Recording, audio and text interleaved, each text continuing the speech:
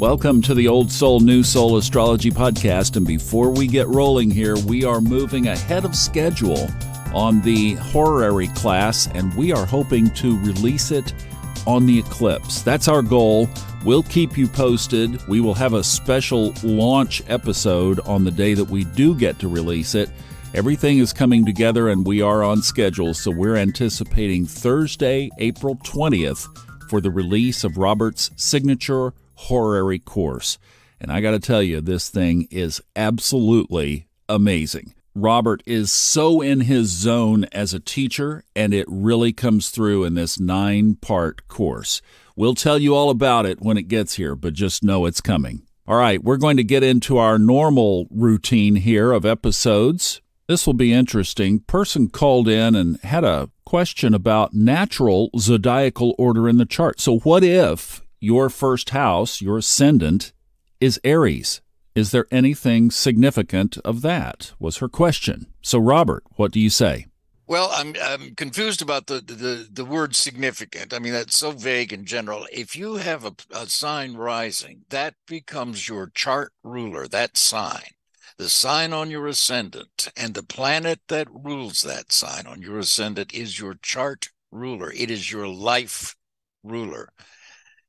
So when you have Aries rising, Mars is your life ruler. And then Mars becomes the position of Mars in that chart by house, by sign, by aspects.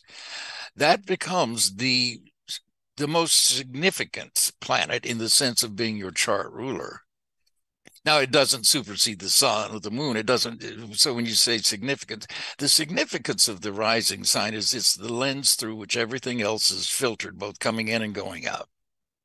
So everything for her or for anybody with Aries rising is going to be processed in terms of how does this affect me, me, me, me? If you're not careful or unconscious with Aries rising, and it depends on where Mars is, of course, but Aries rising can be an incredibly selfish sign. I've got moon in Aries, so talk to me. Aries rising is all about what can I do? What can I do in this situation? How does this affect me? So it's a very personal and and also um, a very critical way to live. In fact, not critical in the sense of criticizing people, but critical in the sense that with Aries rising, everything can become a drama everything can become a crisis on the negative side, or everybody everything can become joyful, even though so there there tends to be this immediate reaction to life and people and situations with Aries rising. Uh, and it can also be very Im- impatient, as Mars tends to be. So those are you begin to get a, a series of guides to pay attention to in your life if you have Aries rising. Let's say you have Mars in a fire sign, um, as compared to Aries rising with Mars in an earth sign, Capricorn, for example, where Mars is exalted. Then suddenly you've got a terrific Mars, at least to start with, because Mars in Capricorn knows how to control its actions. Uh, so the significance of the ascendant is paramount, really in the chart because it describes the kind of life the person will lead. And with Aries rising, it's going to be a Martian life, which can be wonderful. Uh, but you'd better be pretty active, either intellectually or physically or both. And you better be uh, the kind of mind that is enthusiastic about the new offerings that life brings you rather than fearing change. Aries tends to instigate it, if nothing else, because it bores so quickly. It gets it, it's a very fast learner, Aries rising sometimes. It's also a surface sign, it takes immediate. Uh, responses to stimuli, in other words, as opposed to signs, let's say, like Taurus rising, which is a little much less impulsive and impatient and will take its time to assess the situation. Aries rising tends to have an immediate impression of the situation or the pub or the person or whatever it is and to react accordingly. That may be great especially in times of war for example if you're a soldier if you're a police officer. Aries is associated with those sorts of professions and there they demand quick reflexes and quick responses so it's appropriate. In other situations it wouldn't be if you think about the ascendant as sort of a lens through which your entire life is focused, both incoming and outgoing, And then you begin to study your Mars or whatever planet rules your ascendant and its position by house and sign and aspects and so on. Then you have a really detailed picture of how you filter everything that comes into you and how you filter everything going out. So in terms of Aries risings, it, it's very much about what can I do here. And it's meant to be. Aries is meant to be a self aware, self involved sign because it's it's the sign of the newborn, the sign of the infant. And somebody with Aries rising, even if they're old souls and they have the sun in Capricorn, let's say an old soul sign, even if they're old souls, they have Aries rising, they're going to treat everything that comes to them in this life as like a newborn. Look at this. Oh, look at that. Oh, look at her. Oh, look at him. So they're enthusiastic in that way. And unfortunately, one of the negatives that depends on the Mars, again, if it's got negative aspects, is that Aries rising can get very enthusiastic about people, places, and things, and then fail to follow through because it's found something else to get excited about. So sometimes again, that depends on Aries. If if you have Mars ruling Aries in Gemini, then you're likely to be a lot more impulsive than if you have Aries rising and you have Mars in Taurus, let's say. So that's I guess the significance I hope anyway that I'm trying to clarify for Thomas. Yeah, you know, there's so many different ways that we can go with this. So let's take it this way first. She was asking a specific question about if you have your chart structure where Aries is your ascendant, so that is the ruler of the first house. Taurus is the ruler of the second house. Gemini is the ruler of the third house, and so on. So I'd like to just focus this question on the second house because Venus then is ruling the second house, Taurus, in this natural zodiacal order. Does that mean that they get more money in their life? Not if Venus is afflicted, it doesn't. okay.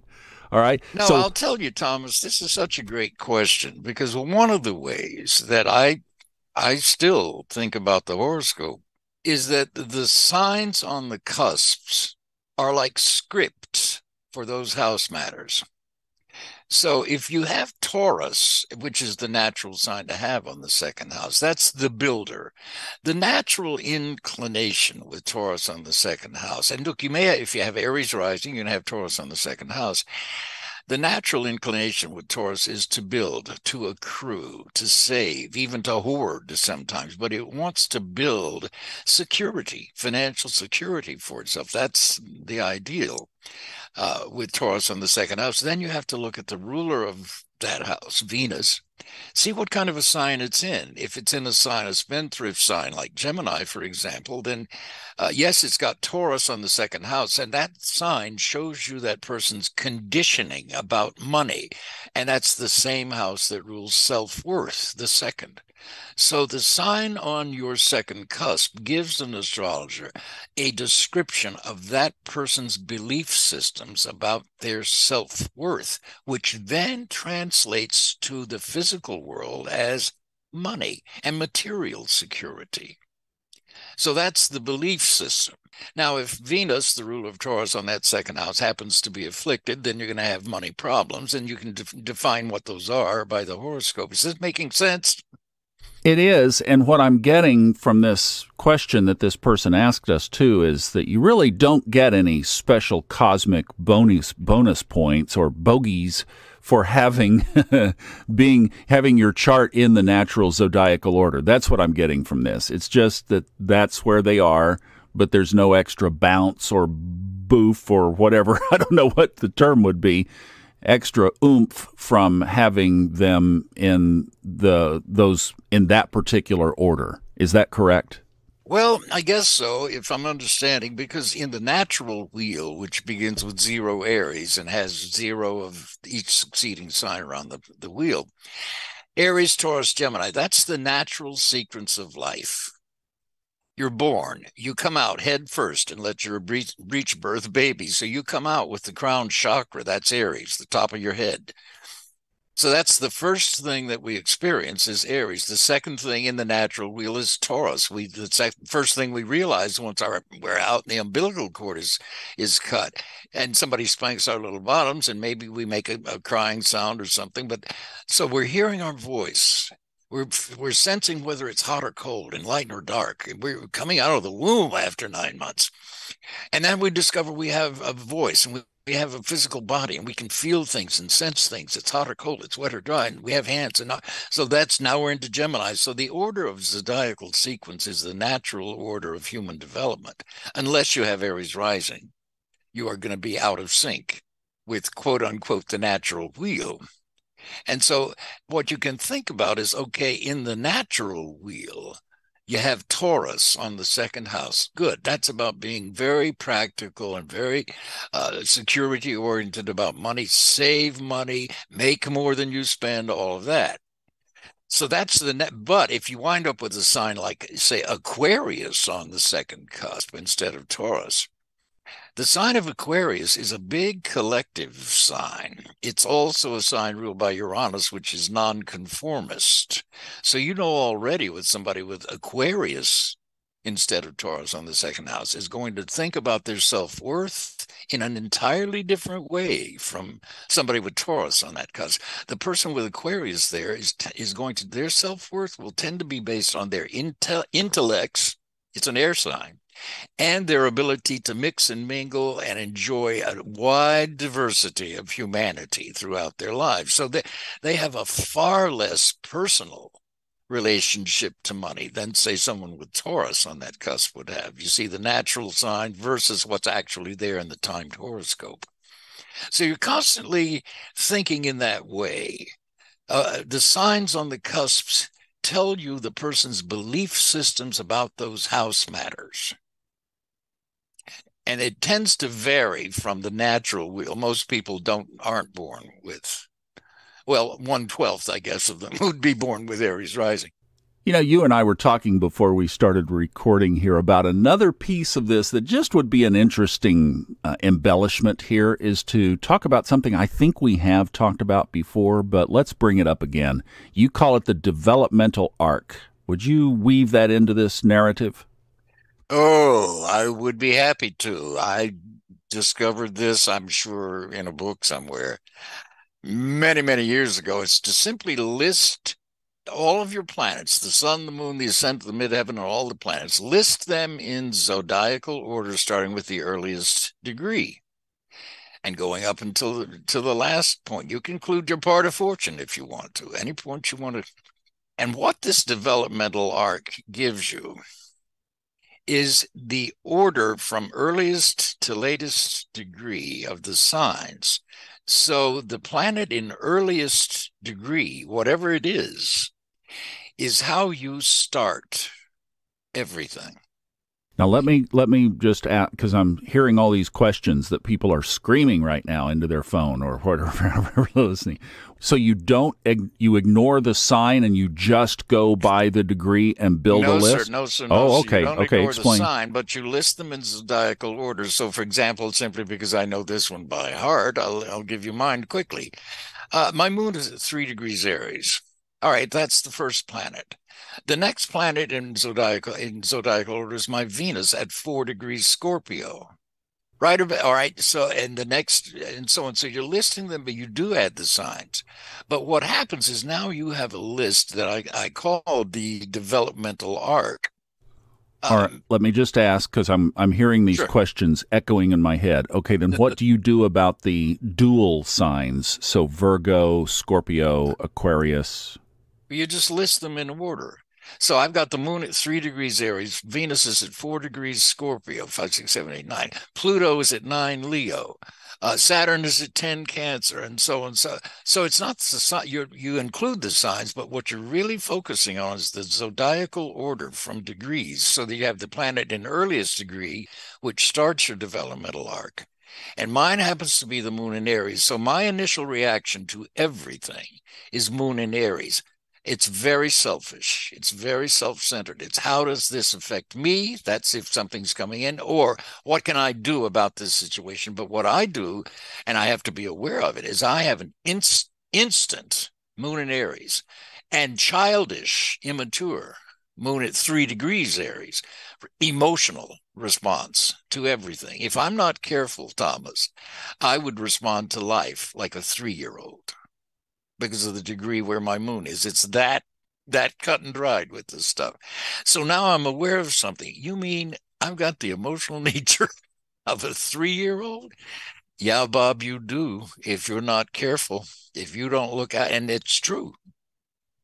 It's true for me. So I've learned a lot from that. So, in order of of uh, the planets, if you take them in zodiacal order to form your developmental arc, think about the transits. When Jupiter, for example, enters Taurus, it's going to start triggering those planets in that order it'll first make you see it's going into Taurus. so it's going to first make an aspect of the moon and then the next aspect it'll make will be to the next planet in my developmental arc and so on and finally the last the planet in latest degree is how i end everything now in my chart the latest the last the latest degree is my midheaven it's not a planet, it's a point at 28 degrees Libra in my 10th house. And by George, it has been true with me all of my life since I was a kid.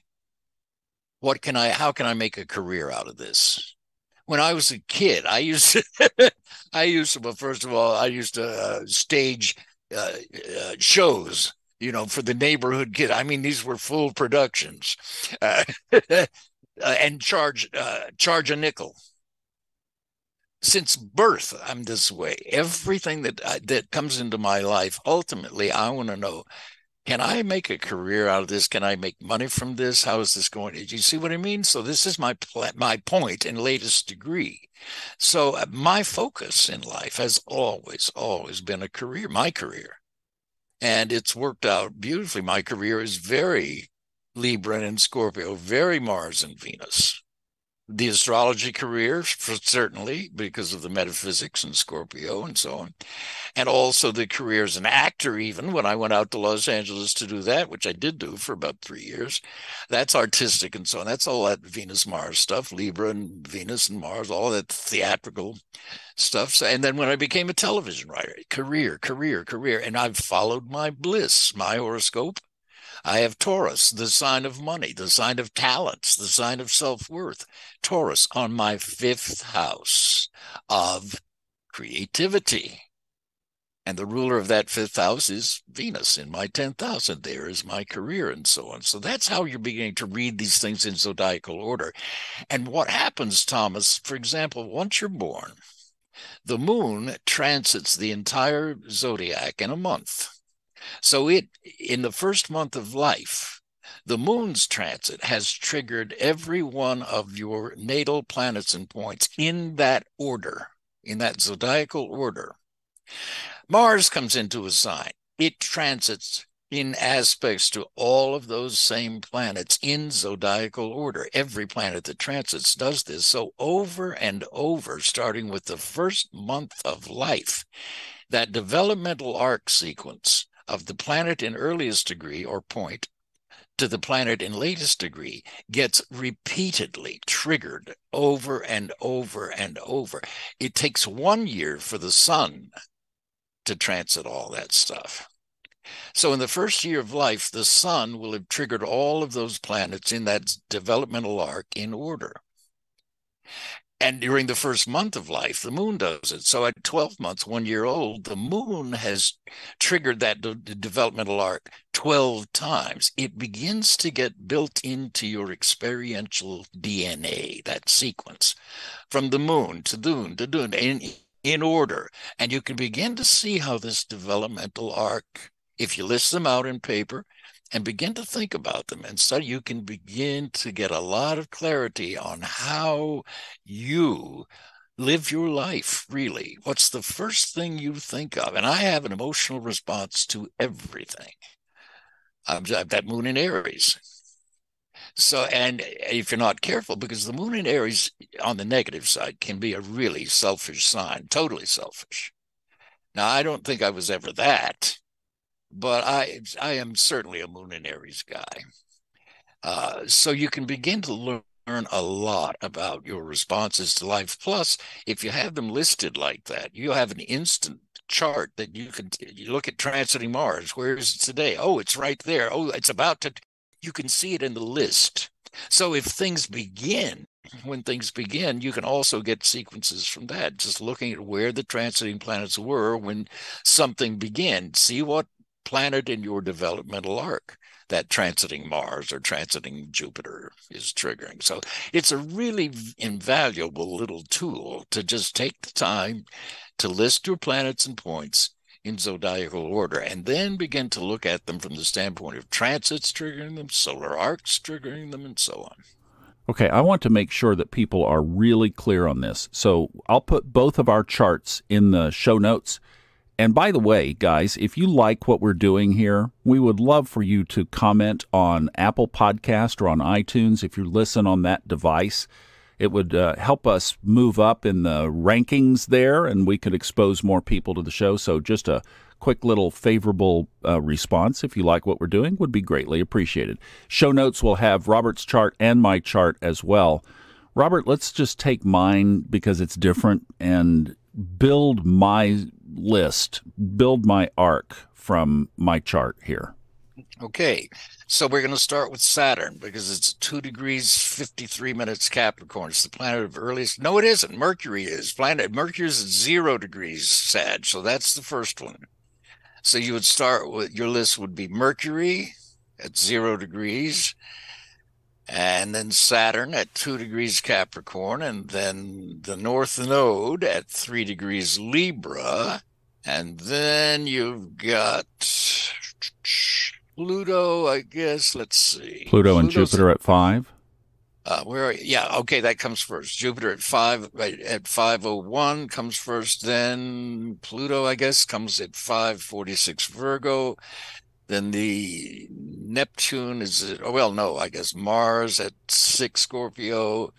35 and Neptune comes next at 6 Scorpio 42 and then the sun comes next at 654 Scorpio and now you're looking for your midheaven is next at 7 Pisces and next would be your part of fortune at nine Cancer, and then you've got where else? Now we're getting up. It looks like Venus and the Moon, right? Would be the last two. Well, no, we yeah we got well, Venus. Chiron. We have Uranus. We have Uranus. Yes, right. So so in that case, Uranus comes before Venus. Uranus is 20, 44 minutes, Leo, and Venus is 20, 50 minutes, Virgo.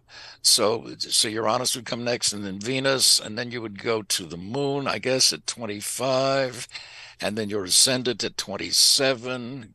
You see how it works? Yes, perfect. in, in zodiacal order like that. Your planet in earliest degree, Thomas, is zero Sag Mercury in Scorpio. Uh, well, in, in the house, it's ruled by Scorpio, and your chart is in Sag. So you were. you were born to do exactly what you're doing. Mercury in Sag is even as a child, and, and I know that you come out of a, a, a, Pentecostal kind of background, religious background. That's very much Sagittarius, but you were you were acutely aware from birth of the higher side of it's it's inconceivable to think that an infant is born as a philosopher but you were so you were raised up in this uh, Sagittarius environment where religion, the idea of religion, philosophy, spirituality, God, all of these Sagittarian things were part and parcel of your upbringing. And so from, from day one, and Jupiter is conjoined that Mercury, that is religion. Sag is religion, Jupiter's religion. So you you have a philosophical outlook from birth and in, in insatiable curiosity about life. So, with Mercury and Jupiter right there early at the beginning of your developmental degrees, you are mentally and physically traveling. You're born to travel, to explore, to think, to question, to meet people in these areas about religion and philosophy and spirituality and metaphysics, all of these things. And it has indeed made you look what you are today as a broadcaster, Sagittarius, long distance communications, the internet, all of that stuff is all symbolized in that one position with Mercury and then, of course, Jupiter right beside it in Sag in your sixth house of work and occupation. You see how this begins to work? Yeah, it's fascinating. It's amazing. Wow. What this is great. So thank you for wrapping that into a question about basically zodiacal order and how things work from that standpoint. And again, we would appreciate some of your comments. I haven't mentioned that in a while and uh, would just appreciate if you guys would help us fire that up. All the rest of the information of how to contact Robert for readings, etc., are in the show notes. And we'll see you next time on Old Soul, New Soul Astrology Podcast with Robert Glasscock. Thanks so much for listening today.